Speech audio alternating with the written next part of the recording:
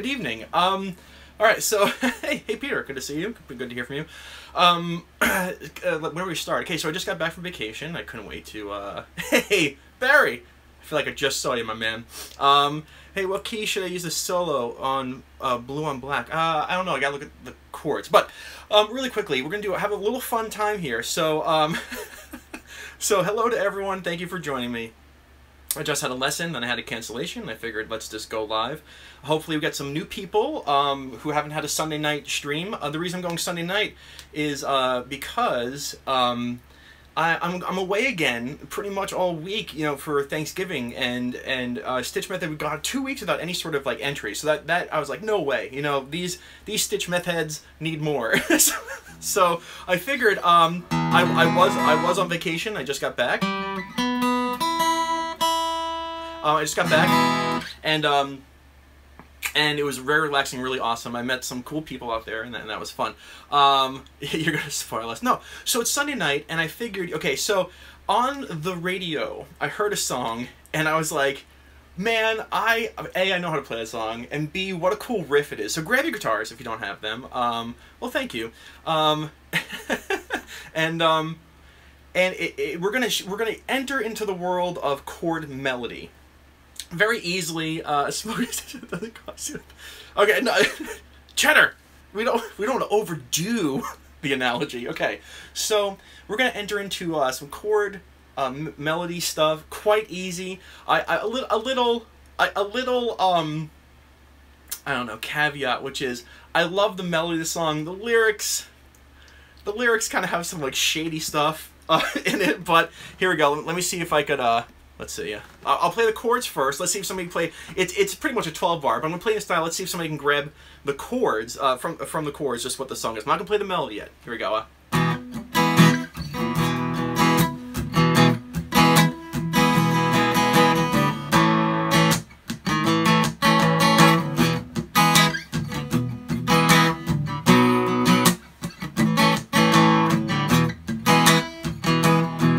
So let's see what.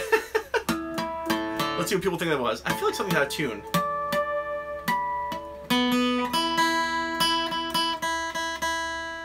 Now, um, do you even shred? Oh, don't start this stuff. okay, so here we go. So, can anybody, uh, yeah, there it is, man.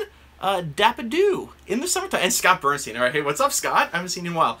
Okay, so the med the melody, I want to say medley, but the melody is such a cool melody, and you can play it while you are actually, like, holding your chord down. So here's this, like...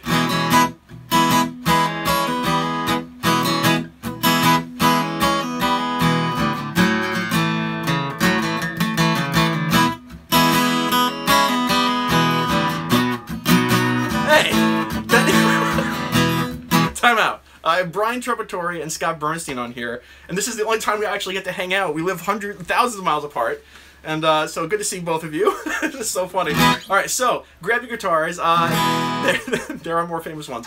Uh, thank you, Scott. So grab your guitars. We're gonna go over first "Summertime" by uh, Mungo Jerry. Go look it up. Uh, that this was written on the actually this was written on piano, and um and and the thing it, it's very hard. I just did anyone see me just spit something? Um, it's Scott, too funny. Um, it, it, it's actually kind of hard to play it on the guitar. It was written on piano. The piano player is playing it, but it plays it plays really well. And the thing is, is uh, it's fun to try and do. So, and there's a lot of like stich method isms in here. So let's get started. E chord, and you're gonna start on the B, and you're gonna hammer on with your pinky to the C sharp. So you have this. Okay. I will do this. I will do the Saturday's Children. Don't worry. You're gonna hammer on to this uh, C sharp second fret okay, on the B string, bottom, and here we are starting on the five, starting on the five, right? The power of the five compels you. Here we go.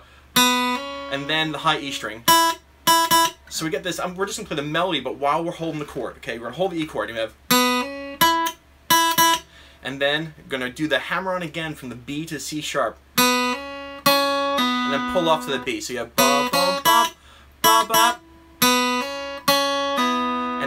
the famous minor third to major third, right here on the first fret, open G, and hammer on and go right home to your root. Okay?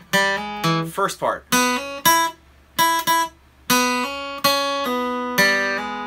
now all you gotta do, now let's talk about chord melody. Um, I don't know, I don't know if I've ever said this to anyone, but when you're playing chord med- melody, I want to say medley all the time. I was just teaching my man Barry, who you saw, a medley, and that's the word that I keep on saying. So, um, uh, when you're playing a chord melody, you have to understand something. Your chord is your cup of water, and your melody is your oil floating on it. It needs to be the thing that stays on top of the melody. You can't really bury it, so you have to use your pick and try to make sure that you're hitting the strings with the melody note on it a little bit harder, or um, or that they're the last ones you hit, so that it's because you had a vegetable medley for dinner. I did have a vegetable medley for dinner, Trumpetory. You're so good. Trump. I miss you, buddy. All right, here, here we go. So, um, make sure that when you're putting this, I'm going to play it again, you can hear the melody line. You got to keep that on top of the chord.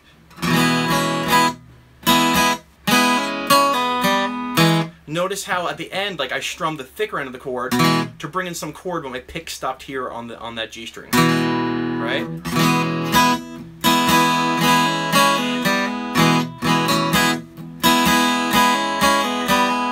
Now it goes to an A chord, standard blues. You're gonna bar, bar, your A here. It goes right to this like blue shuffle, this six.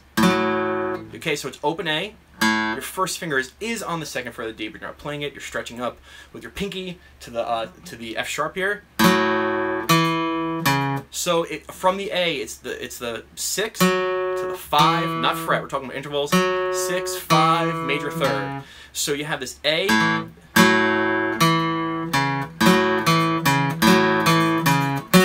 Okay, so that's a, that's the hardest jump right there.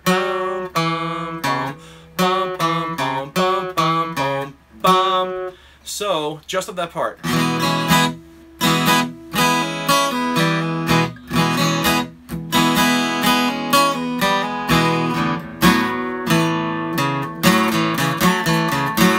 Back to the E chord. with B chord, there's no melody, then an A chord,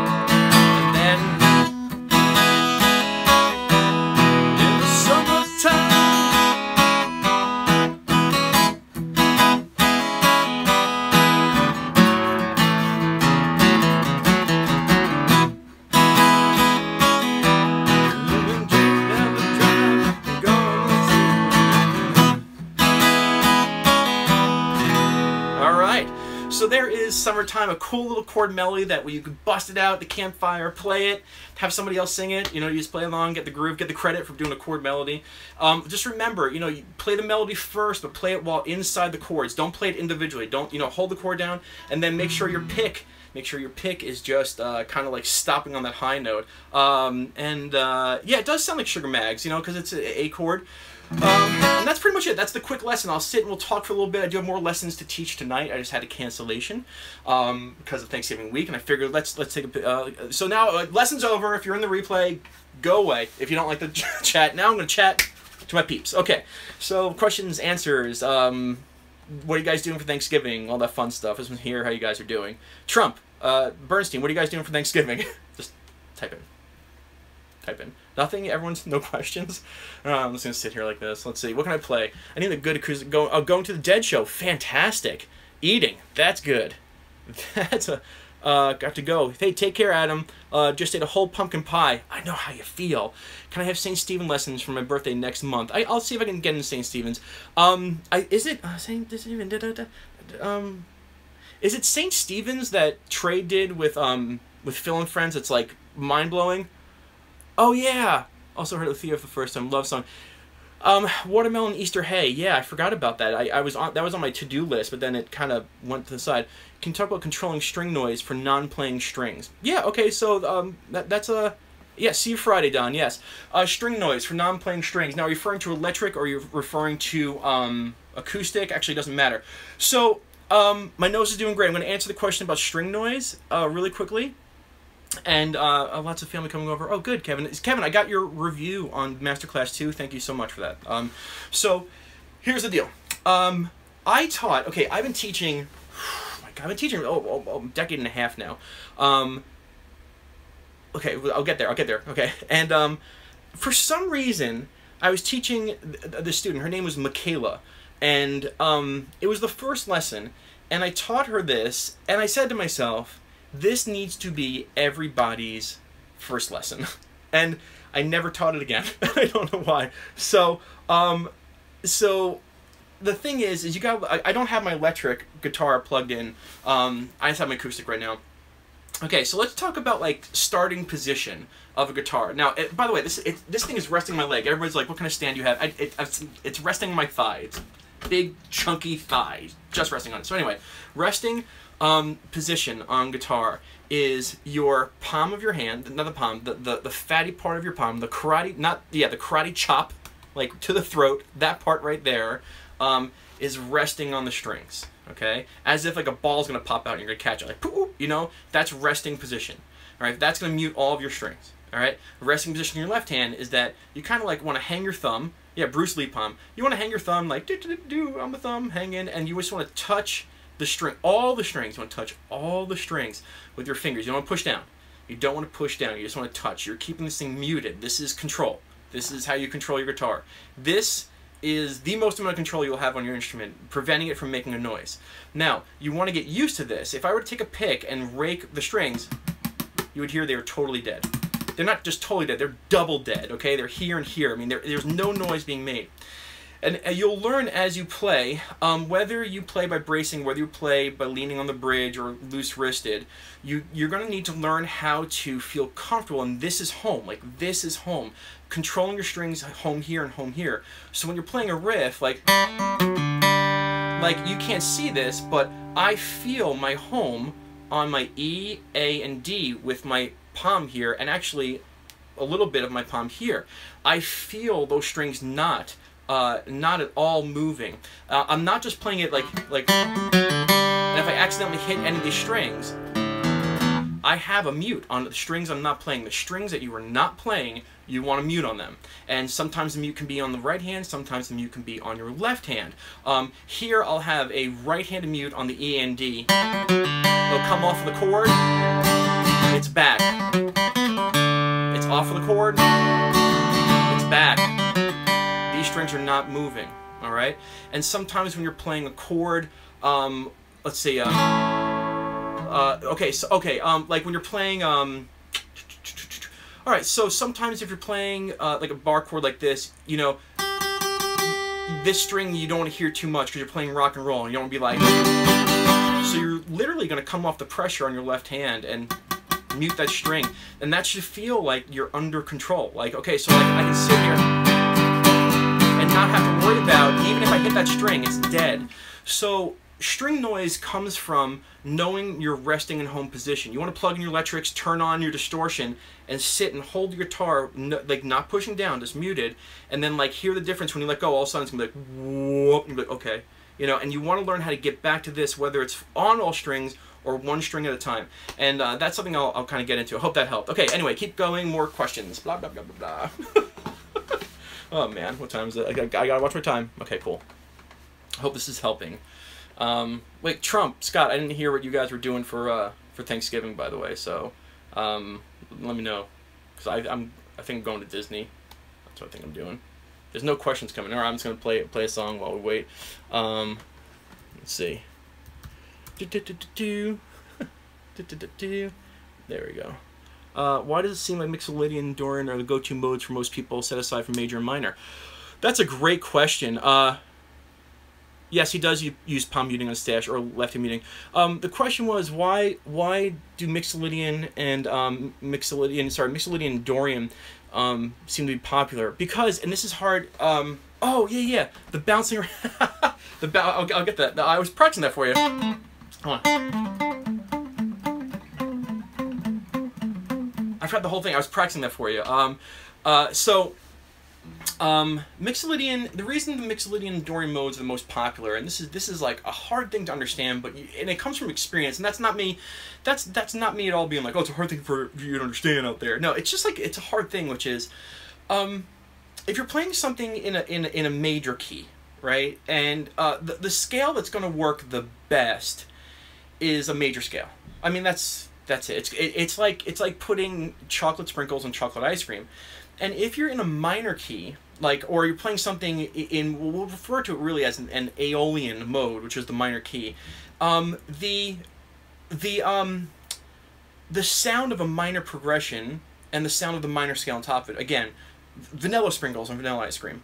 Um, and to you you have to have a major progression to really if you write a major progression, you pretty much have to use the major scale. If you write an Aeolian progression, you have to use the a, minor scale.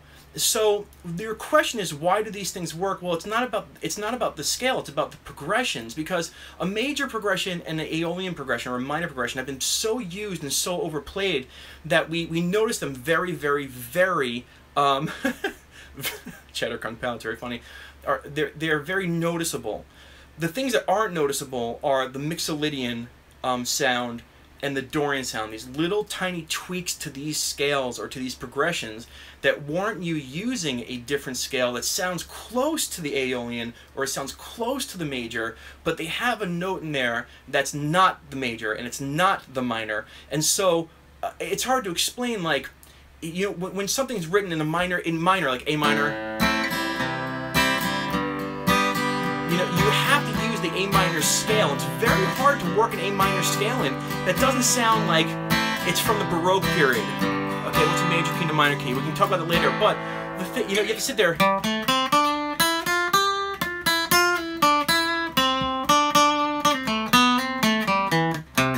And the thing is, it sounds it sounds minor, and and and minor doesn't really sound that good when you're looking for rock. And I'm talking a lot, but the Dorian progression.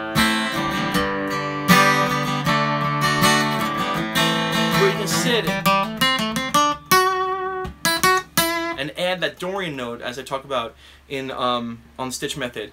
The Dorian is like the new minor, and the Mixolydian is like the new major. It's it's really about taking the major and minor, which have been used so much and so identifiable, and you're so like, I, I can't I can't play that anymore. It's the new evolution of where where those modes are going. I hope that made sense. I, I don't mean to. I can sit and talk with about this for hours, but uh, um, I maybe I'll make a masterclass on it or something. Um, Big Valley, Alberta. Hello. All right. So other questions. Sorry, keep going.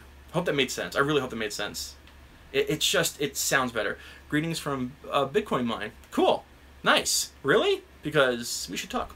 Uh, it does. Thanks. Okay, cool. Um, thanks for lessons. Let's say you have six eight time signature F uh, progression. How would you develop it in Solitaire? Okay, so let me see that. Okay, so his question, Anthony.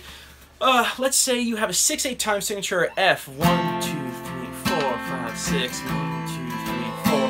Oh, G minor. Nice, dude. One how would you develop it or solo top it? Okay, well, I'm looking at your chord progression, and it's F, A minor, G minor, C. So the, the F and A minor uh, and the C, you're like, cool, you got this uh, key of C thing going. Um, the way I would develop it first would be with like a walking bass line. You know, I'd stay F and A minor, so F... to the G minor. Now, when you get the G minor, I, you have to use a G minor scale for your bass line back to the C. Now, I'm not saying this is gold, but I would, you know, F and to the A minor, I would use the C major scale because you're in the key of C. F, A minor, and C. You're in the key of C. Uh, you could be in the key of F. Hold on for one second. Oh, you're in the key of F, aren't you? F, uh, G minor, A minor. Yeah, you're in the key of F. Okay, so there's me making my first assumption and my mistake. And people make mistakes. Okay, so you're in F. So I'd use an F major scale. Yeah, it is. It is an F. Yeah.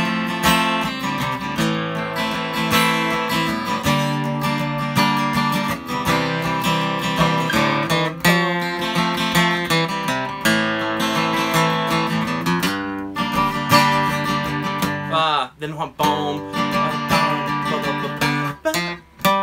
I, I, I hear something. Give me one second.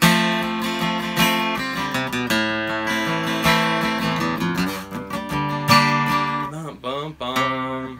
Oh yeah, I, hear, I just I heard the bum bum So the first thing I would do is I, I would attack the bass lines first and get the motion of a bass going. You know, like take, I was talking to my wife about this, take like what I call the, the Paul McCartney effect. You know, Paul McCartney's bass lines in the Beatles are nothing but extraordinary when you really listen to them. They, they travel, they move, they do things that you would not expect. So I would first attack the bass line first and let that sit and provide a nice cushion for your progression and then let the progression start to let you into a solo or to a melody but you always kind of want to start your foundation. Now i'm not saying this is gold i'm not saying this is amazing i have to sit with this i'm trying to do this in a minute but you know f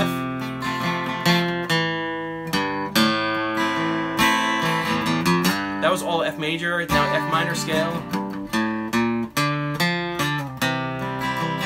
Something to that extent i hope that made sense. I would start with the bass line um, F major bass line. Really, you know, when you get to the G minor, just make sure, you know, what makes a G minor is that B flat. That's the minor third. Boom, boom, boom, boom, boom. G, G minor, that's the minor third. So you kind of really want to put that into your bass line to like, hey, I'm minor, bro. This is minor. Anyways, that's that. I hope that made sense. Next question. Oh, yeah, no. Um, uh, do I have to go? No, I'm not go yet. Okay. Does each mode have a signature chord like mix? Yes, it does, and I will get to that on stich method. I promise. Um, in the mind of Malcolm Young. You know, yeah, I can. You know, the thing is, is like Malcolm Young, he was the best one, four, and five rock guitar player there was. You know, he all of his songs. And it makes it sound like I'm like poo pooing it, but like, there's not one better songwriter uh, who took combinations of ones, fours, and fives and made them sound not like ones, fours, and fives. So I should should do that. Um, okay. What uh, I don't know what my email is, but my email is uh, stichmethod at gmail.com. That's it right there. Uh, more questions before I got to go in a little bit. I hope that you guys are having fun. It's good to be talking to everyone. Um, and you can ask me a question. Uh, that's no problem. Let's see. Uh, it's just I don't want I don't want this. Well, this is not what I wanted. Sorry, my computer going, and um, that is so not what I wanted. Why? Why? Why? God, these websites. Um, sorry, I'm looking something up on the computer right now. Would you ever accept Bitcoin payments for lessons? Uh, I don't even know where I'd start with that. Hope you and your family had a I, maybe happy Tofurkey Day. Thank you, Cheddar. It's very nice. Thank you for your approach. You have told me good, sir. You make this world a better place. Oh, nice. That's nice to hear. Uh, I cannot play flamenco. I used to have a guitar player who was like one of the best, uh, best flamenco players um, I've ever, ever heard in my entire life, and it was so good. He was so good, um, but then he moved. Um, okay, hold on. There it is, sorry. Have you ever seen her play the Tonewood amp? No, I have not. I have not. Uh, hold on for one second. Is the Dorian mode for an A minor progression the Dorian mode of a minor scale? No. The Dorian mode is a Dorian. Okay, there could be a Dorian chord progression, which starts on the second chord of a key. So if it was A Dorian, you'd be in the key of G, you'd be an A Dorian progression. And an A Dorian scale is like a minor scale, but it has a, a, a, um, a sharp sixth.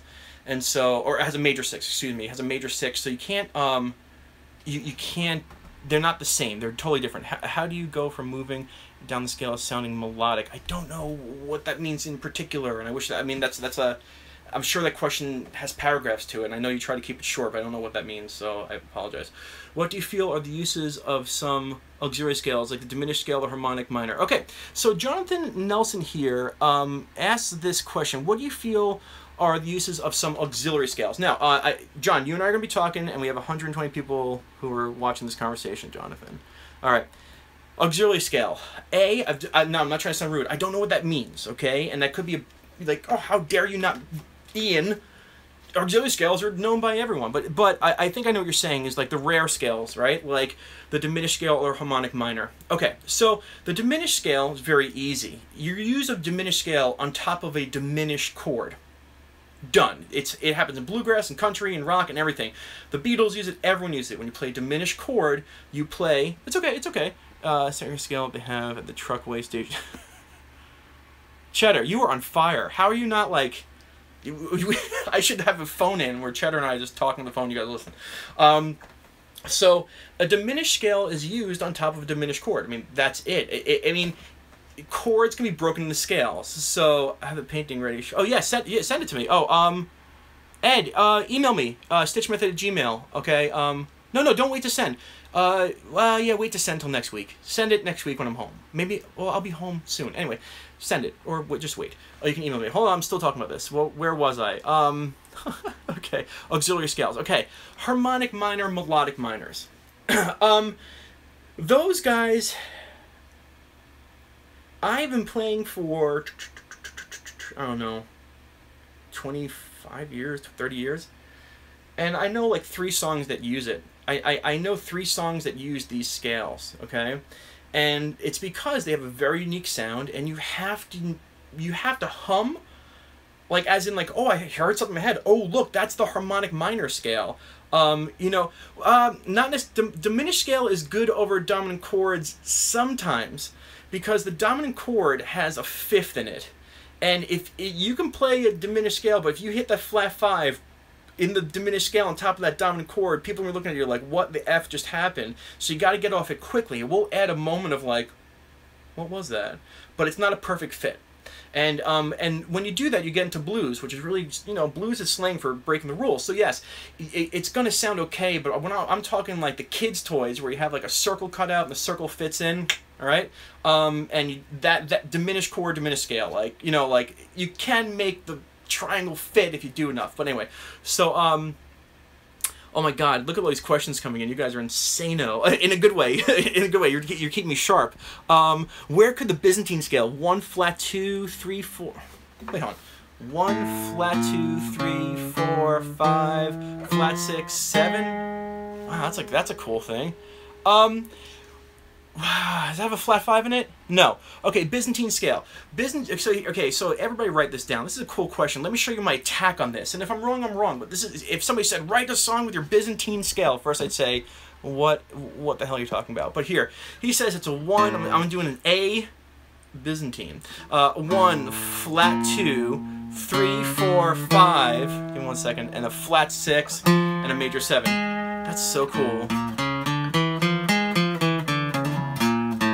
Alright, so now, what's cool about this is if you notice right off the bat, it has a 1 and it has a 5. It, it has a 1 and 5, and why is that important?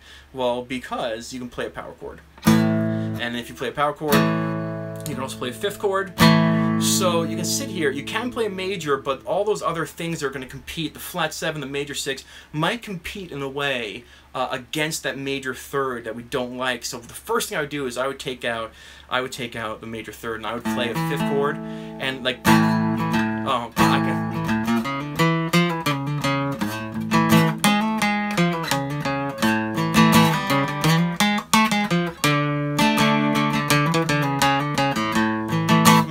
this off the bat, but I would I would sit an A power chord first, and then whatever note you stick with, you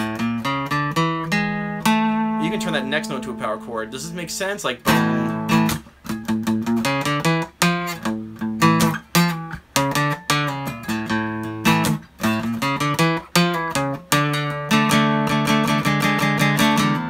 Anyway, that's really fun. I might do a stich method video on that. That was really cool. All right, so uh, there's my answer. I'd start with just the 1-5 as a base, as a chord base, as your palette of sorts. Uh, I gotta watch the time. Gotta watch my time. All right, uh, we, we, got a couple more minutes. Um, the dead are about to stream. Oh, live? Like uh, video? Or like free? Because I'm not gonna pay for it right now because I have to teach lessons. That was super cool. Crockpot Monday. Hey, Bill. Bill, did you get? Did you get? I'm, I'm talking to William. Did you get the thing? Do you have to go tomorrow? Do you need me to bring you one, Bill? The Thing.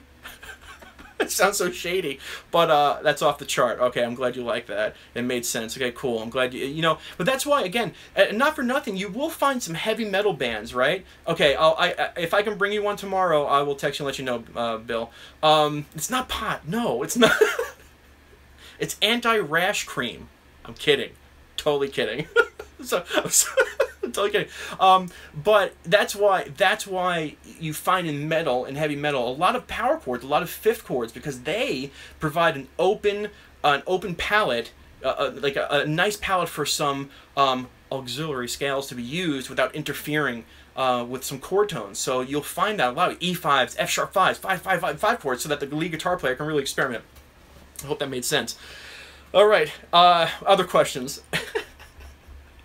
you guys are so funny. Uh, any advice for playing chromatically? Um, probably. Uh, hold on. Uh, any any uh, playing chromatically. Playing chromatically does not sound good unless you do it right. How do you do it right? You play chromatics by leading into your chord tones. I mean, that's what Jerry Garcia does. You know, his his chromatics what looks like chromatics are a bunch of minor thirds to major thirds to fours, but really that that that sound is like he's going to an E, he's on a C sharp minor, he's gonna just he's gonna time it and get up there. Um, you know, so playing chromatically is not willy nilly. Nothing on guitar is willy nilly. Don't the only thing that's willy nilly is, is you can sit and play with the pentatonic and learn how that trust good. But chromatics, you can lead with chromatics to where you're going. If I'm here, um, B, let's see, B, let's see. I had a double up there, but you can lead chromatically into your next into your next uh, chord tone. Chromatics, you know, when you start playing chromatically, you start like kind of like what's happening, like um, uh, okay, chromatic. When's it gonna stop? It needs to stop on the next chord change, and you gotta hit it. So you plan accordingly. If you're here. You know, you, you can bring it up to the next chord tone. You find that a lot where it's traveling to your next thing. It's not in the middle. Um, even if it's in the middle, it'd be traveling to the next stopping point. So to play chromatically, you have to know where you want to stop, and then you can play chromatically there, and people will be like, that was awesome. That Whatever that guy did was awesome. You're like, yeah, that's right. Anyway, more questions, please, before I go. One or two more questions. I hope you guys are having fun. Thanks for being here. Um, yeah, um, Arthur Collins does. I'll have I'll have some people answer this. Does the Never Lost apply to the major pentatonics too? Let's see what let's see what the crowd says. Gold old school. Um, original Never Lost. The original Never Lost? I, I play this every day for my students. There we go. Um, let me post a link. Uh, Bobby tonight. Oh, okay. Um, if you can, if you can post a link. I don't know if your links post. Um, uh, well, it's not the same. I it, go look. Um, they are the same kind of, but on my channel on Stich Method, you can type in "Major Never Lost." Actually, just in YouTube, "Major Never Lost," and you'll see there's there's a dedicated pattern for a, a uh, um, it, it is a dedicated pattern for major moves versus minor moves, and it's a really cool video, man. I think, yeah, is it? Yeah, I think it's a really cool video. Um, yeah, no problem. Major Major always lost. I am. I'm sorry to hear that. We can. I'll get on top of that. What's the quickest way to tell what key a song is in? Ah. I'll do something about keys. Keys. I'm telling you. I, if there's any. Uh. Yes. There's. Yes. There is. I get my, my number one hate, not hate mail, but my hate comment is, dude, you don't know what you're talking about when it comes to a key of a song. And I hate to say this, I really, really, really do. And it's the case of like the blind leading the blind, and they don't. Um, a key is very easy to understand, and I will be doing a video on like what is a key of a song. Um, look for two major chords next to each other, and there's 90% chance that's the four and five. Yes, and that's very that's, that's how you can find the key. But what a key means, Cheddar, as well. Like the real true meaning of a key. You know, I've heard well, it's the chord you start on, the chord you come home to, or it's it's the it, no. It, there's only one meaning of a key. Print out a key chart and stare at it when you play. yeah, just stare at the chord chart, the, the key chart. Like what you know. We, we can do that. I, I do I do a lesson with my private students all the time about um, what's the gal what's the gallop sound like? I don't know what the gallop sound is. Are you talking about the metal? Are you talking about? I don't give um um who was that? Hold on for a second. Um, gallop sound. Richard Peters. Um, Richard. Um, stichmethod at gmail.com. E email me a link about something that has a gallop sound so I can hear it. In my, next live feed, I'll try to address it. Um, do you even have any key? Y yes, yes. Uh, hold on, hold on. Really? Um, uh, uh, yeah. What is er Oh, that's the galloping song. Okay, that's the galloping sound. Is that what you're saying? That's what you're saying. The don't don't don't don't don't don't. Is that what you're saying? I'm an idiot. It's like that took me like ten seconds to, to process. Okay, well, this is my last question. All right, galloping sound. It, okay, um, I'm learning backwards. Okay, so the galloping sound is a technique. Okay, it's a it's a technique of the right hand, and it's down, down, up, down. But the problem is, is that on down, down, up, down, down, up, down, two, and a one, and a two, and a one. Now you hear me saying these these things like and a one. Those have the, word and means split right down the middle of a beat. One and two. So and is the down and uh, and one and a two. So down down up down down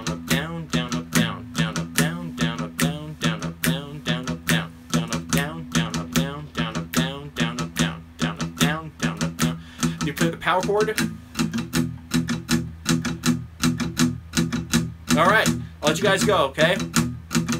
All right, so uh, no, uh, those aren't triplets. Those are swing eights. One and a two, and a three, and a four. Triplet would be triplet, triplet, triplet, triplet.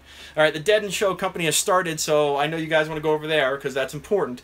Um, thank you so much. Have a happy, happy, happy Thanksgiving. If you're in the states, if you're not in the states, thank you for joining me at this godly hour. I don't know what it is, but thank you so much for all you guys being here. I'll be back up and running next week after Thanksgiving. I just want to get a good live feed in. I'm going to go say goodnight to the kids. Thank you all. Um, have a great night, guys. All right, bye bye. If I can turn this thing off, that'd be great.